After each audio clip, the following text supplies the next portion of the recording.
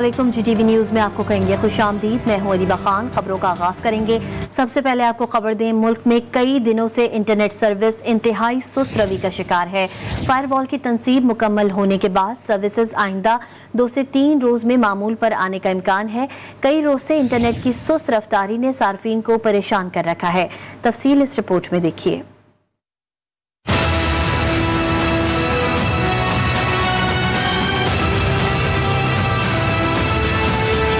Internet service की रफ्तार सुस्त रवि का शिकार। मुल्क में ऑनलाइन रोज़गार वाले परेशान। हुकूमत मसला हल करने में नाकाम। कई रोज से जारी इंटरनेट सर्विस ने सार्फिन को परेशान कर रखा है। फ्रीलांसर्स का काम ठप हो गया। इंटरनेट पर इन्हिसार करने वाले कारोबारी अफराद के लिए अफरा तफरी की सूरत हाल पैदा हो गई मामला बढ़ा तो आखिर वजूहत सामने आ गई हुकूमत ने फायर फायरवॉल की तनसीब के लिए इंटरनेट को सुस्त किया। मुताद एप्स को डाउन किया गया। मुल्क में फायरवॉल की तनसीब का दूसरा तजुर्बा कामयाबी के साथ मुकम्मल कर लिया गया। फायरवॉल से मोबाइल सिग्नल्स इंटरनेट सर्विस को भी डाउन किया गया। फायरवॉल की तनसीब मुकम्मल होने के बाद सोशल मीडिया सर्विसेज़ आइंदा दो से तीन रोज में मामूल पर आने का इम्कान है। वज़ीर मुमलिकत बरए आई टी शिजा फातमा कहती है की व्हाट्सएप डाउन होने की शिकायत दूर कर दी गई हैं।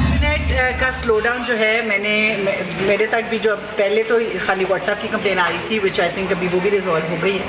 बट इंटरनेट के स्लो डाउन की जो कंप्लेन आ रही है, मैंने आईएसपी से भी और मैंने तमाम लोगों से पीटीए से ख़ास तौर पर रिक्वेस्ट किया कि हमें डेटा प्रोवाइड कर दें कि over the last two weeks ये ये डेटा और रिकॉर्ड होता है ना, कि डेटा ट्रैफ़िक के ऊपर क्या इम्पैक्ट आया है, आया वो स्लो हुआ है या क्या हुआ है तो जैसे ही वो डेटा आता है will be in a better position to से जरा के मुताबिक फायरवॉल के ज़रिए सोशल मीडिया पर मुतनाज़ मवाद को रोका जा सकेगा, जबकि फायरवॉल डीप पैकेट इंस्पेक्शन की सलाहियत की हामिल होगी, जिससे सोशल मीडिया पर प्रोपेगेंडा पॉइंट्स की निशानदेही के साथ कौमी सलामती के खिलाफ प्रोपेगेंडा करने वाली आईडी को ब्लॉक किया जा सकेगा।